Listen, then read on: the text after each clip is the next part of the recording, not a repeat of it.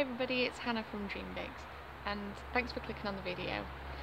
Oh gosh, I'm having a bit of a chilled out time in my garden. I've got some Crabbie's, just going to have a little talk out while I've got some, some things on my mind. Um, video's not sponsored by Crabbie's, but if they would like to uh, hook me up, that'd be sweet, you know, get onto it. Um, what, what happened today, I, I did the My Network for Women Celebration Showcase, which is cool. Um, the My Network for Women, obviously it does what it says on the tin, it's a network for women. All ages, like no matter where you are in your professional um, journey, whether you're just starting out or whether you've been established for a while.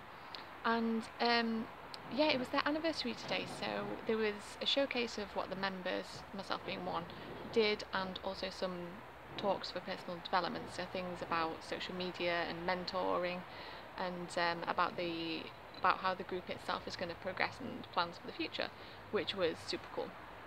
But my, my takeaway from the day was um, that you you kind of need to be part of something that's that's that's bigger than yourself. Like it's very easy as an entrepreneur to be sort of very focused and like just like quite blinkered really and because I'm, I'm a person who quite likes my own company which obviously is quite handy when I'm self-employed um, it can be easy to not ever kind of talk your problems through or get somebody else's perspective, which, you know, like whether it's whether you do it in, in the form of networking or whether you have a mentor, um, I think that's really, really important. Like, for example, um,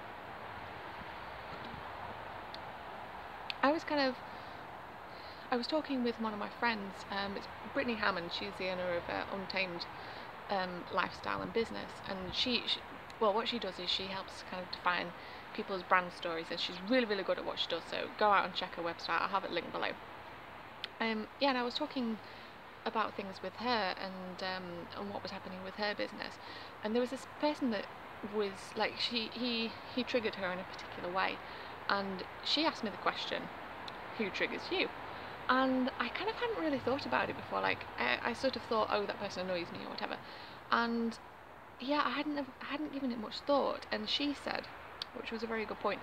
Some people are placed in your life for a reason, um, whether that's like a good reason or a bad reason. I kind of had put people into into groups.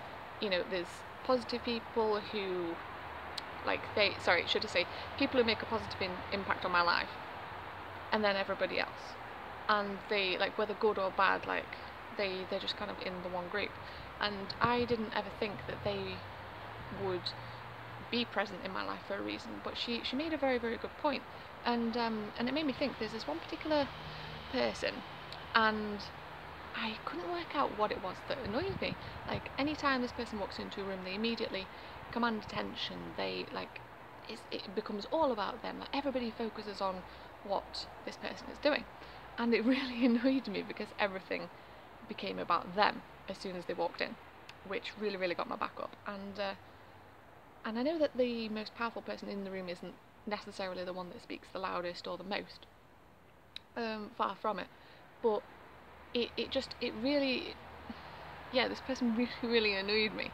And then because of what Brittany said about people triggering you, I kind of thought, well, wh what is it that, that annoys me about this person? And I realised it's that it, it wasn't, it wasn't them per se, it was what I was lacking um, or what that I wanted in my life. So I, I would quite enjoy to be able to walk into a room and like immediately command attention and not necessarily in the way that um, the person I'm talking about does it. Like because because people do get kind of annoyed by it if I'm honest.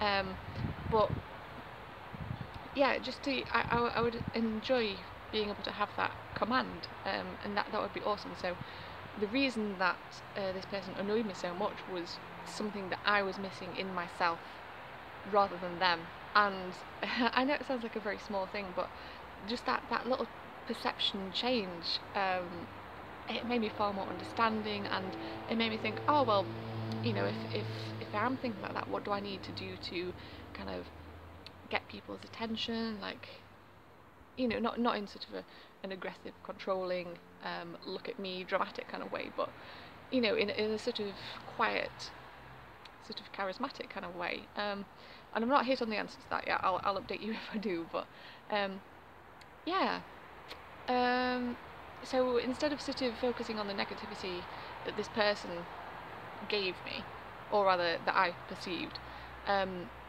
I'm going to try and turn it into a into a positive thing um, that will hopefully benefit my life. But um, yeah, without having talked to to Brittany, then I would I would not have had that perception change at all, and I'd probably I'd still be doing the same thing. And it's not a massive deal, admittedly, but um, just to have someone to kind of bounce ideas off, or you know, just an outside perspective than your own. Um, and she she lives in France, so she isn't sort of that close to, to my business, so she can look at it from the outside and give her honest opinion. And um, yeah, I, I met with the, the lovely Gemma from Launchpad Mem- Mentoring, and um, Irshad did a talk about how important mentors are, and um, and I completely agree with him. Like, it sounds very. Uh, I don't know. It sounds a bit intimidating, you know. If if somebody if they say, "Oh, do you want to be a mentor?" Um, I've not been going in business long enough, so I I wouldn't be a, a good fit, to be quite honest. Um, but to to sort of have a mentor or be a mentee, it sounds quite formal, but the I really don't think it's like that. Um, you know, they were talking about it today, and um, I think it'd be just beneficial for, like I said, just even if there's the one perception change and maybe you don't necessarily get on and you don't gel well together, whatever, but just to have that outside perspective when you're self-employed, I think is incredibly important. Um, and it's it's kind of what the Mind Network for Women does as well. You can you can bounce ideas off each other and then like gauge people's reaction. And the showcase as well. It was it was lovely to see people's reaction to to the things that I'd made. Um, it was really it was really positive and made me feel really good about myself. And it was um, it was a great self-esteem boost as well, if I'm honest. Um, yeah, I think that's pretty much all I've got to say about that. So um, it was just kind of to to get things off my chest while I was thinking about it. Um, and I am very very tired, so I think I'm gonna go and drink the rest of my Crabbie's and um, be pretty cool and watch University Challenge. I think, and don't pretend you don't do it because I know you do. Alright, thank you very much for watching guys. If you liked it, you know the drill. Subscribe, like, click the notification bell to get more news from me. And um, have a look at my social media. There's there's loads of pictures and behind the scenes and little snippets and um, like bloopers as well, which is always fun. And uh, hopefully I'll see you next time. Alright guys, thanks for watching. Bye bye.